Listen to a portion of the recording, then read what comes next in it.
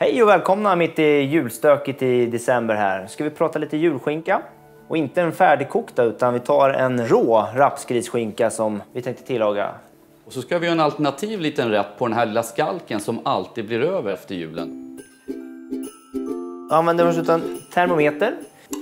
Man får in hela nålen. Sen är det bara att ställa in 66 grader på den här. Så kommer den gå på eftervärme sen upp till rätt temperaturer som är 70-72. Stoppar vi in den i ugnen på 120 grader ungefär. Så blir det perfekt sen.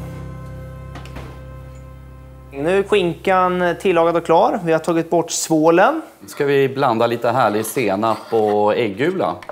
Och i det river vi en eh, fräsch apelsin. Vi har valt ett asiatiskt ströbröd som kallas för panko. Det ger en lite krispigare yta än vad vanligt ströbröd gör. Ställer vi ugnen på runt 230 grader och sen på övervärme eller grillfunktionen på ugnen. Var beredd på att det går undan.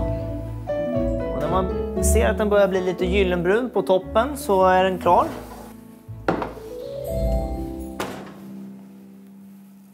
Oftast då står man ju kvar med den här skalken när julhelgen börjar ta slut.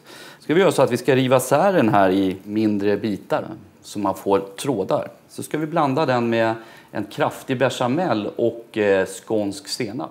Precis, eh, då har vi förberett lite här när de är färdigpanerade. Nu är det ju rullat och blandat med den här bechamelsåsen som är lite smaksatt med senap så vi får grilleringskänslan med senap.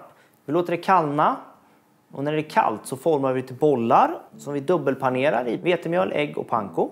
Eh, sen kommer vi fritera dem i en 180-gradig olja i två minuter.